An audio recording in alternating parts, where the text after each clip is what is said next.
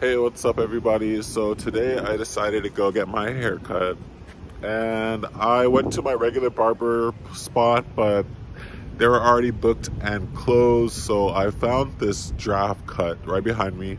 This new place that I've never been so I'm gonna try and get a haircut and see if everything works out. They say their normal cuts are like 35 and 25 for kids and seniors or something like that but I also wanted to find out what they're going to charge for uh, just the sides and see if they're uh, reasonable. I, if it's still, if they, cause all I do is cut the sides of my hair and I have the top of my hair already like set.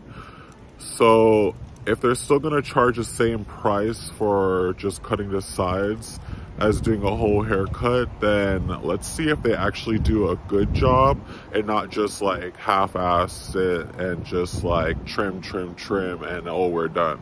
So let's see how that turns out. I'll show you guys the before and after, and thanks for joining me. And let's go check out this barbershop. It's pretty dope.